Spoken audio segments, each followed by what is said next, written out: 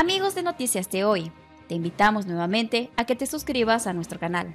Te pedimos que participes en la caja de comentarios. Sin más demoras, comenzamos. Estados Unidos dice que seguirá presionando a Maduro.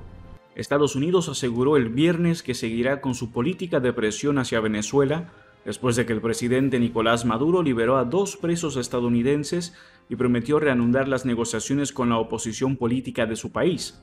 La decisión de Maduro tuvo lugar tras el viaje a Caracas de altos funcionarios de Washington durante el fin de semana, lo que sorprendió tanto a allegados al presidente venezolano como a sus opositores.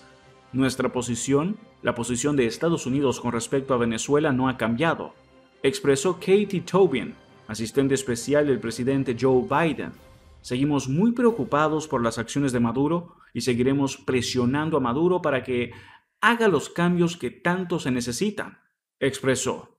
En los días siguientes a la reunión en Caracas se incrementó la presión para que Biden comience a levantar las sanciones a Venezuela, una política de la anterior administración republicana de Donald Trump para asfixiar a Maduro y que ha continuado el actual gobierno demócrata. El viaje de los funcionarios estadounidenses a Venezuela tuvo lugar en momentos en que Washington ha implementado sanciones a Rusia que bloquean las importaciones de petróleo por la invasión a Ucrania. Ese veto ha elevado los precios del combustible y se espera que tenga un impacto en la economía estadounidense, cuya inflación está en los mayores niveles en cuatro décadas. Tras las medidas contra Rusia, surgieron especulaciones de que Biden estaría en negociaciones con Venezuela para importar petróleo desde allí, pero varios funcionarios lo han negado. Fuimos allí con la misión específica de traer de regreso a los estadounidenses, dijo Tobin en una conferencia de prensa telefónica en la que trató de focalizarse en temas migratorios. Ese fue el enfoque puntual y exclusivo de ese esfuerzo, aseguró el funcionario del Consejo de Seguridad Nacional.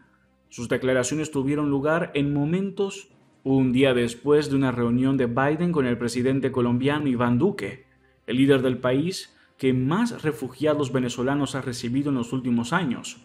El gobierno estadounidense no ha ofrecido detalles de las conversaciones que lideró en Caracas Juan González, el responsable de América Latina en el Consejo de Seguridad Nacional.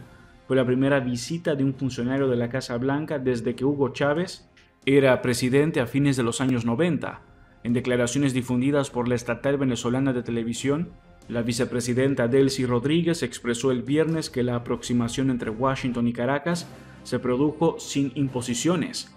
Las aproximaciones iniciales no pueden ser condicionadas bajo ningún concepto, dijo Rodríguez en un foro en Turquía. La vicepresidenta destacó la disposición del presidente Nicolás Maduro de sostener relaciones de respeto y diálogo con el gobierno de los Estados Unidos de Norteamérica sin condiciones, sin cortapisas, en el marco de la Carta de las Naciones Unidas que enarbola, entre otros principios, la igualdad soberana de los estados. Esperamos que en el marco de la diplomacia y el diálogo constructivo pueda avanzar, agregó. Más de 6 millones de venezolanos han huido a diferentes países del mundo y otros de los países que los han albergado en la región han sido Brasil, Ecuador, Perú y República Dominicana.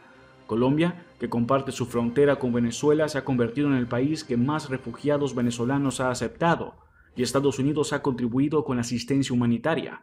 Al término de la reunión con Biden, Duque reiteró que considera a Maduro un dictador y que tanto Colombia como Estados Unidos creen que la única solución para la situación de Venezuela es el retorno de la democracia.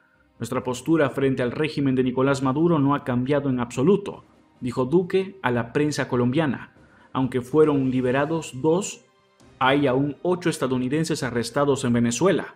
Maduro, un aliado de Rusia, ha dado pocas señales de que abandonaría al presidente Vladimir Putin. En Venezuela, los sectores más combativos de la oposición criticaron a Biden por la reunión en Caracas, al igual que sus aliados en Estados Unidos. Otros, en cambio, esperan que la reunión sea el inicio de un acercamiento entre ambos países. Entre otras noticias, Precios del barril de petróleo Brent y Texas hoy 12 de marzo. ¿Cuánto cuesta y a cuánto se cotiza? Mientras el conflicto entre Rusia y Ucrania continúa, los mercados energéticos se ven afectados. Aquí los precios del barril del petróleo Brent y Texas WTI. A medida que el conflicto en Ucrania continúa, así como las sanciones impuestas a Rusia, los mercados energéticos se ven afectados. No obstante, gracias a que las conversaciones entre el gobierno ruso y ucraniano avanzan, el precio del petróleo ha disminuido. El pasado jueves, los precios cayeron después de que los Emiratos Árabes Unidos sugirieron que respaldarían un aumento de la producción de la Organización de Países Exportadores de Petróleo, la OPEP. Este viernes los precios del petróleo sufrieron un ligero aumento luego de que el acuerdo nuclear con Irán se suspendiera, eliminando parte de las esperanzas respecto al aumento de la producción de petróleo de Irán. Precios del barril de petróleo Brent y Texas hoy 12 de marzo. ¿Cuánto cuesta y a cuánto se cotiza?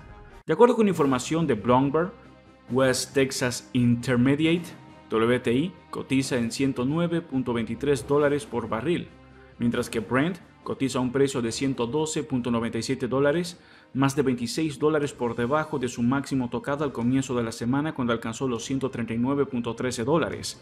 Los precios del petróleo varían minuto a minuto mientras el conflicto continúa y a medida que los comerciantes sopesan las posibilidades de que las exportaciones de crudo de Rusia sean eliminadas del mercado global, Estados Unidos y el Reino Unido ya han anunciado medidas para prohibir o disminuir las importaciones.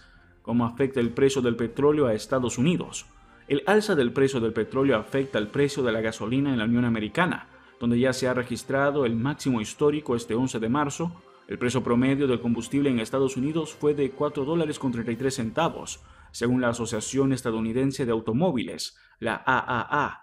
Aunque en algunos estados el galón de gasolina aún no alcanza los 4 dólares, los precios aumentaron rápidamente esta semana. El promedio estatal más bajo, según la AAA, se encuentra en Kansas, 3 dólares con 71 centavos, Missouri, 3 dólares con 85 centavos y Oklahoma, 3 dólares con 87 centavos. Por otro lado, los precios más altos están en California, con un promedio estatal de 5 dólares con 72 centavos por galón. Eso es todo por ahora. No olvides dejar tu comentario y suscribirte. Hasta el próximo video.